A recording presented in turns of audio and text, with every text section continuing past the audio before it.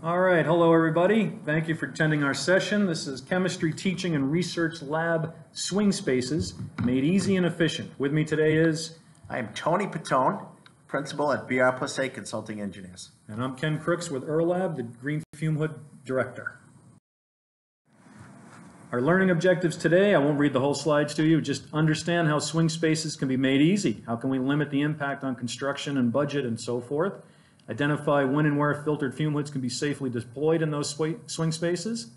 Understand the accommodations that may be needed in a research environment, especially compared to a teaching environment. And then analyze some lessons learned uh, in our whole experience on this multi-phase project. So our case study today that we want to present to you is Wellesley College. They're in the Metro West Boston area. And uh, very much that beautiful, iconic New England college setting that, that everybody sees in the movies. Uh, I think they're all filmed right here too, not just Harvard. And uh, this is a woman-only college, so it's 2,350 women and on a 500-acre campus, founded back in 1870. And this slide here, just to show Wellesley College's commitment to sustainability. Back in 2016, they, the Board of Trustees approved a sustainability plan that then launched the E2040 Working Group, and their goal is to achieve carbon neutrality by 2040. Uh, you can see the steps they're going to make in 26. There's going to be a, I'm sorry, in 2026, there will be a 37% reduction to their baseline. 2036, they'll have achieved a 44% reduction. And then by 2040, they'll get that whole 100% reduction and get, get onto their goal of carbon neutrality. Uh, pretty impressive goals, and this project actually helped them quite a bit in the Thank you, Ken. So the Science Center renovation and addition is without question the largest, most complex project taken to date um, at Wellesley College. The construction cost was just north of $220 million. Um, It included the build of some temporary lab spaces. As a college, we can't demo and rip apart existing buildings and just turn classes off. They need to take place in other buildings. Um, We have renovation of the L wing, renovation of the E wing, uh, demolition of Sage Hall, and then the new build. So what does the new Science Center look like today? On the right-hand side is, in the gray bar, is the new L wing. On the left-hand side, the small gray bar, is the E, E, uh, E wing, which is the education uh, wing. And the kind of the pink starfish is the new build. Um, You know, as you can see that there's a large list of uh, energy conservation measures in this building. And, uh, you know, for, for BR Plus for, on the engineering side, the linchpin to do what we did was without question the filtered fume hoods. It's music to my ears. Thank you. So, sustainability. Uh, as we were renovating the L wing, we looked at a bunch of different things, um, and without question, the biggest bang for our buck was to start to pull out the ducted fume hoods out of uh, the teaching classrooms. Uh, today, there are, oh, there was 70 ducted fume hoods. Ken, um, we studied pulling out as many as we could. Um, we knew that research still wanted some ducted fume hoods, but there was no reason why we couldn't use filtered fume hoods um, in the teaching classrooms. So, uh, kind of shook out. We had we ended up installing 41 filtered fume hoods in the teaching classroom. Each teaching classroom did have one ducted hood, and uh, we end up um, leaving 29 or replaced 29 variable volume fume hoods in the research labs. Uh, Ken, pretty amazing. Uh, the 20-year net present savings was over $4 million. That's amazing. And, and the best part about this, these filtered fume hoods, we were able to actually install them in the swing space trailers. So we're going to save $40 million and we have a product that's going to make our life a lot easier in the swing space. Excellent. I think you just said 40 million. We'll go with the 4 million. did I? Yeah, it's four. Sorry. but I like the 42. No, that's fantastic. Like you said, installed in the swing spaces for the first phase, but then moved over. And we'll, we'll show pictures of exactly uh, in just a minute. So here, here's a quick photo of one of the chemistry teaching labs before the renovation started. You can see it's a rather old uh, ducted fume hood there. No problem. The students and teachers were off to the left, and I didn't want to be too intrusive, so I just took a quick photo and then got out of there. And then uh, here we are, I think about 24 months later now from when I took that first photo. This is the renovated laboratory. Uh, this is the organic chemistry teaching lab. The teacher's hood is still in blue. That's the Wellesley blue color. And every time I show this photo, you know, nationally to all the different projects I'm working on, everybody gravitates to that. Isn't this a wonderful idea? a combination of administrative and engineering controls. You walk into that lab, and because of the color difference, we can use whatever your school color is, because of that color difference, I know which one's the ducted hood, and I know which ones are the students' filtered fume hoods. To me, being more on the mechanical side of things, I see that big stainless steel duct coming out of the top, and I think I already know which one's the ducted one, but that's okay. I'm not a researcher, I get it. Uh, what you can see in the after photo is there's four more filtered hoods on the other side. So a total of nine hoods in a lab, one of them being ducted, and it makes perfect sense from an airflow component uh, view also, in that the minimum ventilation, you might as well put it up a ducted hood, and that gives them all the flexibility they need. If there's ever anything they want to demonstrate or do that a filtered hood couldn't handle, the teacher can do that in, in her or his lab uh, hood. And then also, they can do any research, and who knows what research they might be working on in the future. Yep, Ken, that's a really good point. So the single ducted hood does provide the code required minimum ventilation rates for the laboratories. Yep, perfect, excellent. So the need for swing space, as Tony said, was to keep the teaching going. This is a business, if you will, and they cannot just shut down and wait 18 months for construction to complete. So the students have to learn, they've signed up, it's a multi-year program like all other colleges, and universities. So with the swing space, they didn't miss a day, they didn't miss an hour, they didn't miss a minute of instruction. Uh, The physical, physical plant impacts uh, of using all those ducted hoods, we actually freed up capacity in the physical plant for future use by the college if they need to. Um, Or maybe took it out of running at 110% for that matter. Yep, for sure. Yep, and then the swing space, you know, there's challenges if you use ducted hoods in that sort of application. Where would, uh, sorry for the trade name, where would the exhaust fan go, the hazardous fume hood exhaust fan? It can't just be down on the parking lot level, that wouldn't be safe. It's supposed to be way away from our breathing zones. Uh, Filtered fume hood solve that and reduced uh, exhaust volume by at least 25,000 CFM. Right. Ken, never mind the fact that you would have to duct each one of those hoods. It would probably be welded stainless. You'd be running that either straight up or into the ceiling cavity, then to the roof of the trailers. That's a good point, because as you're going to see in some of the photos coming up, there isn't room in the ceiling cavity uh, in these buildings. So here's what it looks like. Phase one, when it's built out, the swing space is four different blocks in four different colors to help with signage and understanding which classes were taught where. Uh, On the right-hand side, that is the central corridor, looking from the gray block, which is the 400 block, all the way up to that vanishing point, uh, to the 100 block on the other end. And then just, once you entered this space, you would not know you were in a swing space or a temporary building. I mean, it was amazing what they did. I I was just blown away. Very, very impressive swing space. From a plan view, what it looks like, on the left-hand side, the 100 block, they had a small vivarium. We had a four-foot hood up in the vivarium also. They had a research lab with four hoods in it, and they had the chem prep down the bottom. The chem prep was also the chem storage, all locked, you know, as per codes and security.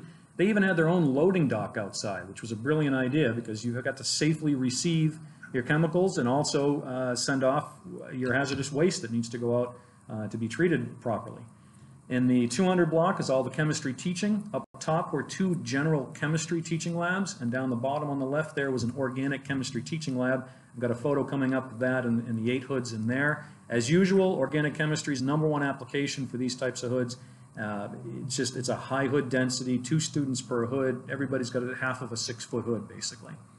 The biology teaching laboratory block, the 300 block, as usual, biology is not nearly as hood intensive, but we still had, what's a total of five, four filtered hoods in that block. And then down the end, neurobio, and also a flex lab with a few hoods in that too. So that's basically the plan layout. Ken, and pretty amazing. This is 30,000 square feet of trailer. Ah, thank you. 30,000 square feet of temporary swing space. And as you'll see in these, you would not know, you would definitely not know you're in a trailer. I mean, the- this, I think, is five trailers all bolted together, interior walls cut out, new sheetrock put up, new ceiling put up, new flooring, and boom, you're in just a big organic chemistry teaching laboratory. A couple challenges, though. Trailers are eight-foot height. So as you can see, these fume hoods do go right up to the ceiling and actually into the ceiling a small amount. This here is the research laboratory with the four hoods uh, tied, tied together. Some of the concessions on the research side is uh, they couldn't have the gases piped. They did have air and vacuum, but they didn't have water or any gases piped into the trailers. So they just had to clear it with the researchers that they would be fine using hoods with those limitations for this 18-month period while phase two is, is getting ready. Phase one's being completed. Uh, So when we speak of concessions, that was one of the concessions that had to be made during this period of time. But the fume hoods were fully fitted with all the valves and fixtures so that once they were moved over, they were connected and boom, off and running. Uh, So as I said, the hoods do go up into the ceiling because it is a low, low ceiling, but I can't imagine trying to fit 10-inch or 12-inch stainless welded ductwork up there. Forget it. Yeah, exactly, exactly, right? So it's another, another good advantage of using the filtered hood. So once phase two, the renovation uh, start, was complete, the renovation was complete, phase two started, sorry. It was then time to move some or all of these 39 filtered hoods out. So on the left is the four-foot hood in the vivarium as it was being installed originally. Then 18 months later, we moved it over and a change of filters, an update on the sensors, and it is now a geology lab hood. I mean, it was really just that simple. Um, Well, just that simple. Okay, so there's some sweat involved. You gotta move some filters around, you gotta move some hoods around, you gotta stage the filtration as shown on the right. Uh, but really, it, it's no more difficult to move it than it was to install the hood structure to begin with. Put it on that, that pallet, put it on the moving dollies, and then push it down that central corridor, uh, to the loading dock. Uh, no blood, no tears, just a bit of sweat. And here it was, uh, coming out the end uh, by the loading, or not the loading dock, sorry, the ramp. Now fortunately, ADA compliance, they had to have a ramp anyways. They had the foresight to make it big enough for a six-foot hood to fit right down. Um, It was tight, but we got it around that corner, got it up on the lift, um, delivered it to the renovated science building as shown on the right, put it right up the, uh, the main elevator and into the lab it needed to go into. It was really basically rinse, repeat 38 more times. Pretty easy to do. And then as, as the space sort of emptied out on the swing spaces and freed up, there were sort of comical moments. I, I just had to put this one in here. You know, lock this door when you leave, especially after 6 PM. So I did. I turned the little lock on the door. I felt better about it and tried not to bump into the emergency shower on my way out. Ken, it was more secure. Thank you for It, locking it that was, door. it was definitely more secure. Thanks, Tony. and then as I got out to my car, this is quite, this is not like I'm not staging these photos. Literally, I got out to my car in the parking lot. I bet you can guess which one's mine. And in pulls this 18 wheeler. It's the end of the day. They've got the, tr- the crane all set up there. In come the, the ducted fume hood hazardous exhaust fans that are going to go up on the roof of the new building. And I thought, wow, I just moved 39 hoods, started up 39 hoods, and I'm out of here. These guys got, they're to work all night just getting those, those things up there, those things, the exhaust fans. So you can see why my, my license plate is no duck. So if you ever see me on the highway, just give me a friendly wave. So we want to talk about lessons learned. I mean, when we think about this now, phase two is complete, you know, the hoods are out of the swing space, you know, what do we do right? What do we do wrong? What are some of the challenges? Uh, one of the challenges I ran into, actually, after the hoods were initially installed in the swing space, was with the, the certifier, the test and balance certifier here, using a smoke wand, and this very hood. It's the only one that gave us trouble, and really, it was because it was tucked into a corner, right up against that wall.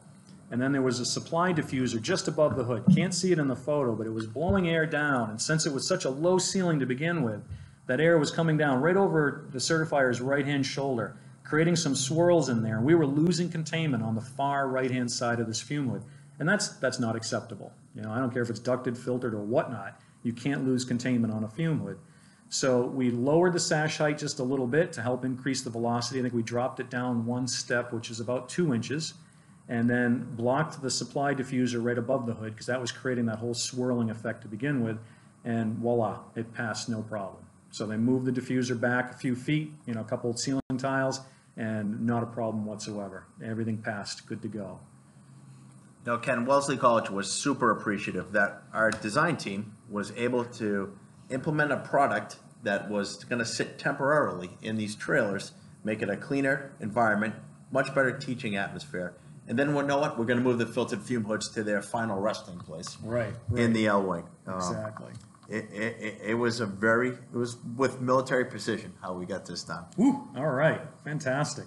Well, when I was, I was there not too long ago, just before classes started up this semester, and the director of the science building, Kathy, stopped by, and she just wanted to say, you know, I'm so happy we did this, it was the right decision. She was really our internal champion, just making sure everybody was, was on board with this and pushing it hard. She was phenomenal. Yeah, she really was. She, she's a great person. And uh, she said, Ken, we're going to save millions with these hoods. And I kind of sat there thinking, oh, hundreds of thousands, absolutely, but millions? I'm not so sure. So on my own, I calculated just south of 2 million. But seeing your $4 million study, uh, I'm on board. That's just fantastic. And I, I can imagine they're quite pleased with that. And they're working fine. Their classes have begun. Uh, we did our two-year maintenance on the hoods. And uh, that was just changing out the acid detector. It, it needs to be changed every two years. They're good to go. They, like other applications, will, will achieve a very long filter life. Because in these student hoods, they're using so little. You know, it's administered, it's controlled, and it's so little and infrequent that the filtered fume hoods just, they return a tremendous value. Then Ken, you think about it, so, uh, the professor lab setup in the, in the renovated L-wing, right? We go to set up an experiment, all the fume hood sashes go full open, so exhaust goes full flow, supply air goes full flow. It's difficult to teach in that lab with all that air noise being run through the lab. With one ducted fume hood in all of the filtered fume hoods, it's a much quieter environment, uh, much better teaching atmosphere for the students and the, and the professors. That's fantastic too. And that, that's actually not a shock to me. We get that feedback from a lot of our customers. Wow, it's, it's just so much quieter than the, the sort of low frequency rumble we get when all the students open up their sashes on their ducted hoods. So teachers love that. They don't have to shout, they can keep a, a better eye and control, and they can hear what's going on in the laboratory. And they can see it and they can hear it, and that's, that's fantastic. And these proved to be very easy to move when it came time to, to relocate them into the renovated laboratories. The Benefits of the swing space, uh, definitely a lot of benefits. We talk about minimized movement of faculty. Faculty don't want to be moved. Do they want renovated labs and new labs? Heck yeah, I'm sure they do, don't we all? But, you know, move me once, but that's it. So that's what we can do with a swing space type approach is just minimal movement until the lab is renovated and then move everybody over, doing it between classes, between semesters. I mean, like you said, it was really, it was military precision. It, it, it worked out very, very well. Shortened timeline overall also compared to all that ductwork that would have been required in the mechanical systems. And then obviously the lower cost, which we've already spoke about. Uh-huh. Ken, and the other piece, they didn't have to cancel class, right? Chemistry 101 wasn't canceled. They took that program from the L-wing to be renovated, brought it over to the trailers, taught the classes, and now we're back in the L-wing. Yeah, that's fantastic. Exactly. Not, not a day, not an hour, not a minute lost time. Yep. And that's, that's certainly value. That's, that's why people go to the school, to learn, correct? And then the other benefit too, not on this slide, but I wanted to speak about it quickly, is obviously from a sustainability standpoint and an environmental standpoint, I did a quick calculation of 39 six-foot ducted hoods and compared that to the filtered equivalents. And basically, we're going to save, depending on use, and just assuming five days a week, partial day use, somewhere around 6,200 tons of CO2 is saved or, or not, not generated uh, by using the filtered hoods. And that, that's the total life cycle cost. BR plus A has done a great job looking at the 20-year life cycle cost um, of filtered versus ducted. You save about 94% by using a filtered hood when it's safe and appropriate to do so. It's not for every application, but it's certainly ideal in these teaching laboratories. And I think that's, uh, that's it for me. Any final, no? No, Ken, thank you for the opportunity. Yeah, thank you very much, I2SL. We appreciate the opportunity. We'll be here to answer your questions, and um, please don't hesitate to ask them. Thank you very much.